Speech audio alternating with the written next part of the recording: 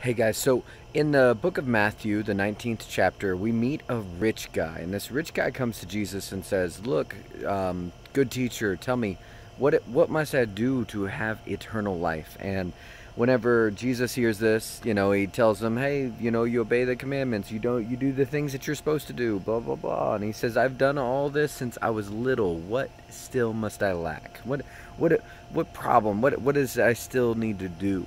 because he knew deep inside of him that he needed something else. And so Jesus uh, looks at him, right? It says that he looks at him, right? Had compassion on him and tells him, Go and sell everything you own and then give that to the poor and come follow me. And this rich man went away sad because he had a lot and he didn't want to give up a lot. And I think about this and I think, man, that guy is a perfect example of someone being at 211. See, water at 211 degrees is just really hot water. Like, it's just hot water. But at 212 degrees, water starts to boil. And that's whenever transformation happens. Transformation happens when the water starts to boil. Now all of a sudden water's turning to steam and it's actually changing. And so that being said, a lot of times we can be we can be pretty warm and we could feel pretty good about being pretty warm. This guy, he felt pretty good about being warm, but he knew that there was something about it, something that was missing. It was something that wasn't changing. And so he says, "Hmm, I'll go to the teacher. I'll go to Jesus. I'll ask him."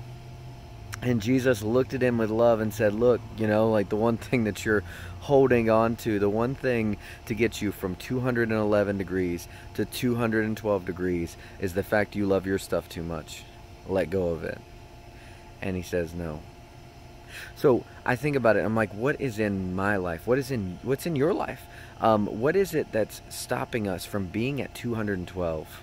Stopping us from changing, stopping us from moving to the next step.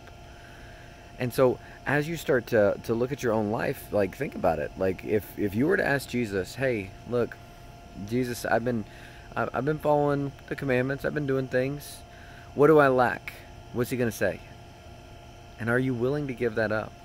Because in the end, it's all about getting Jesus. It's all about getting Jesus because Jesus is eternal life.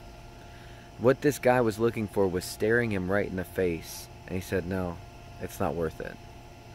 All of us are going to have to come to that realization that either we're going to say it's worth it and we'll give up anything, or it's not worth it.